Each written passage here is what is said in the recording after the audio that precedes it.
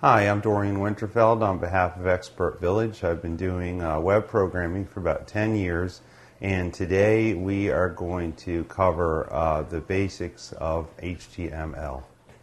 Okay, so we just saved our basic HTML document.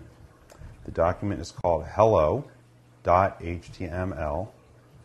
Um, and, and, and, you can see the contents here. Now let's take a look at uh, what it's going to look like in a web browser. Now here's the folder where I saved the file. And remember we called the file hello.html. If I double click on the file, we've just opened a web browser. In this case, it's Firefox, which is a web browser on my computer.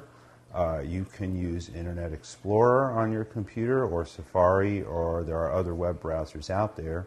Um, I'm using one called Firefox.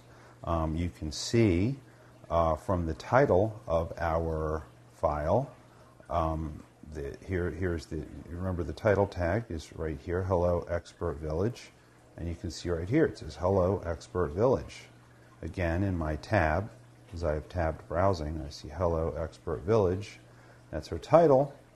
And here's the body of our page Hello Expert Village. And there it is. See, Hello Expert Village. Um, this is the basics of, um, of uh, writing a web page on the World Wide Web.